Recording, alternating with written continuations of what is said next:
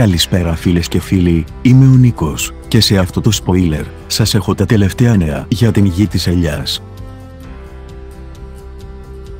Εάν σας αρέσουν τα βίντεο μας, μπορείτε να στηρίξετε το κανάλι μας, κάνοντας ένα subscribe και like, για να σας έρχονται οι τελευταίες ειδοποιήσεις.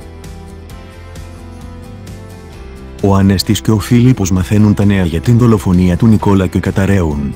Η κηδεία του Νικόλα συγκλονίζει όλη τη μάνη, με πολλούς να ξεσπούν σε λιγμούς για τον άδικο χαμό του. Κανείς δεν μπορεί να πιστέψει το κακό που τον βρήκε. Ο Νικόλας ήταν βλεγμένος στο καρτέλ ναρκωτικών που κυνηγάει χαϊδομανιωδός. Ο σύζυγος και η κόρη της χάθηκαν από τα χέρια απάνθρωπων μελών αυτής της ομάδας, προκαλώντας πόνο και οργή. Ένα θύμα τους είναι και ο Νικόλας, ο οποίος γνώριζε πολλά. Μάλιστα όχι μόνο γνώριζε, αλλά βοηθούσε την Χάιδο στο εκδικητικό της σχέδιο, θέτοντας σε κίνδυνο τόσο την ίδια, όσο και τον εαυτό του. Με τέσσερις σφαίρες γάζωσαν τον Νικόλα και έπεσε αιμόφυρτο στο έδαφος. Οι άντρες του καρτέλ χάθηκαν, χωρίς να αφήνουν πίσω τους ίχνη. Ο αστυνόμος Κουράκος ψάχνει με κάθε τρόπο τους πραγματικούς ενόχους. Στην κηδεία του Νικόλα, ο Φίλιππος και ο Ανέστης καταραίουν, ενώ η Χάιδο κοιτάζει χαμένη, μη μπορώντας να πιστέψει αυτό που συνέβη.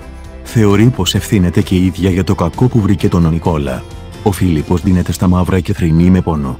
Ουρλιάζει που έχασε τον καλύτερο του φίλο, που δεν πρόλαβε να του πει όλα όσα ήθελε. Το ίδιο θα συμβεί και στον Ανέστη, ο οποίος δεν θα πιστέψει στα μάτια του. Παρά τις εντάσεις και τις διαφωνίες που είχαν, ο Νικόλας ήταν ένα κομμάτι στη ζωή τους.